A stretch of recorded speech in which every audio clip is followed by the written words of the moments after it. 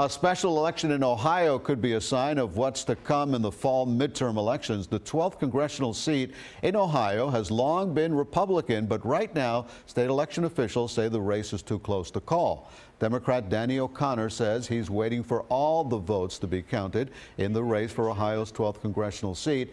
He trails Republican Troy Balderson by about 1,700 votes.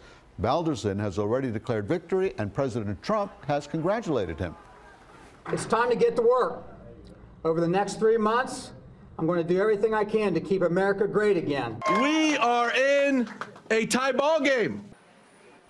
Well, Ohio election officials say they won't declare a winner until they count more than 8,000 provincial and absentee ballots, but that won't happen for another 10 days.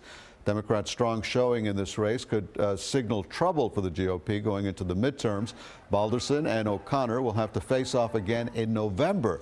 They're already their party's nominees for the general election.